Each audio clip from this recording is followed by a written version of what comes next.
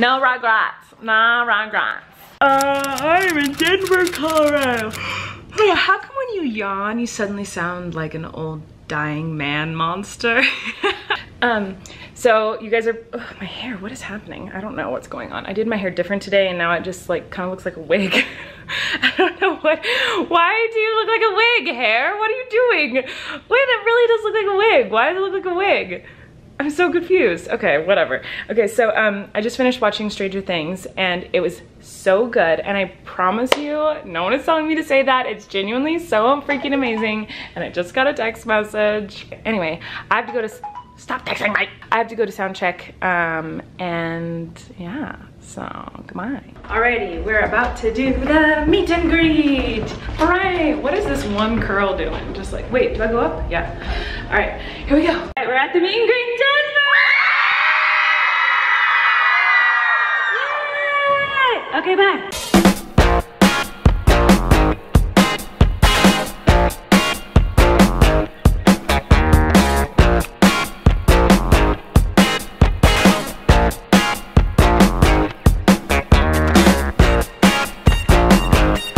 Hey guys, these are my bangs. Oh my bangs. My bangs. Some bangs. It's my bangs. Are all my bangs. So. The meet and greet went really well. It was super fun and I got so many cool presents. Um, someone made this Guess Who Miranda edition and all of the characters in Guess Who are people that Miranda is related to or knows. So like here is Steve Little who's on there, my uncle. um, there's a bunch of really cool uh, things like that in there. There's also a Pretty Pretty Princess version of Miranda, which is super cool.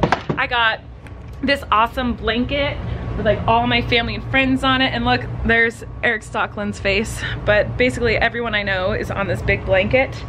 Um, I got this cool octopus hat. A girl homemade an apple pie for me, which I haven't eaten yet, but Corey has and he said it was bomb. Wasn't it good? It was great. It was really good. I can't wait to eat it. So anyway, we're just uh, chilling. We have like 15 minutes before the show starts and I'm really excited to do it. I'm excited to get back on stage. I love it. Thanks for coming to my shows. I love you guys. Hey, hey, I'm home at, or home, I'm at my hotel.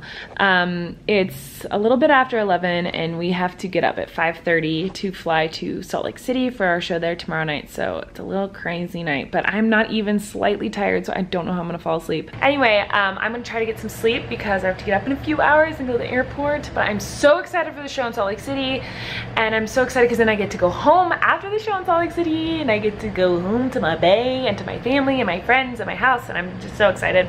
So um, I love you guys. I'm on cloud nine. The show, the show was so much fun tonight.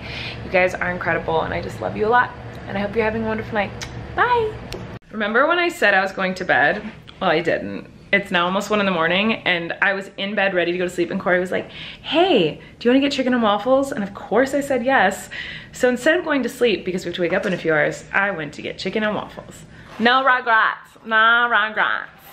I also am recently obsessed with Pokemon Go and found Pokemon on the whole entire walk home.